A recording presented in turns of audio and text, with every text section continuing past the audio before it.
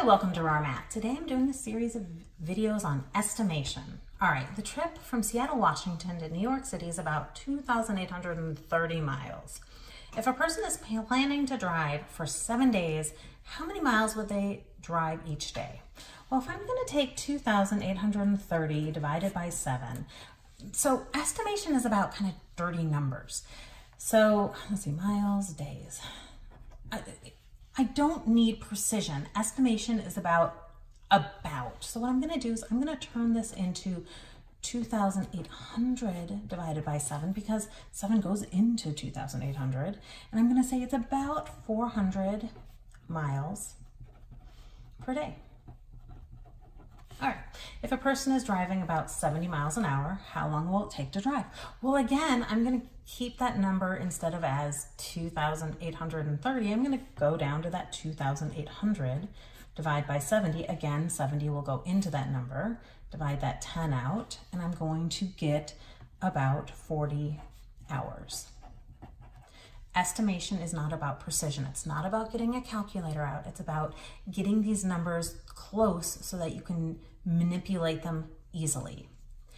If their car can get 35 miles to the gallon and can hold 14 gallons, how many times will they need to fill up? Okay, so we have our 2,800 miles divided by 35. All right, I'm going to, I know seven goes into these numbers, so I'm gonna divide the seven out of top and bottom and I'm gonna get 400 divided by 5, well, that's about 80 gallons.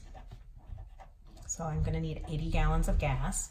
And then 80 divided by 14 is 5 and then some. I don't care about a decimal. I'm not looking for precision. I'm just how many times do I need to fill up? Well, it's more than 5, and I'm not going to do a partial fill up on the middle of a road trip, so I'm going to say 6 fill ups.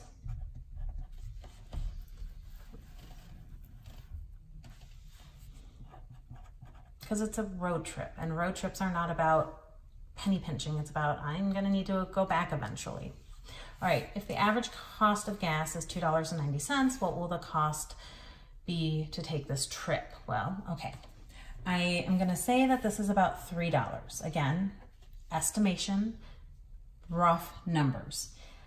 Um, so it's $3 and each fill up is 14 gallons. Now you could go up to 15 if you wanted even easier numbers. So let's go to 15. So three times 15 is about $45. And then we know that we're filling up six times. Um, if you don't want to do that in your head, you could even go up to 50 times six and make that about $300 for gas. That's an overestimation, but you know, overestimating on a uh, road trip is not the worst thing to do. All right. I hope you've enjoyed this video. Please subscribe to my YouTube channel, like my Facebook page, and I'll see you on the next video.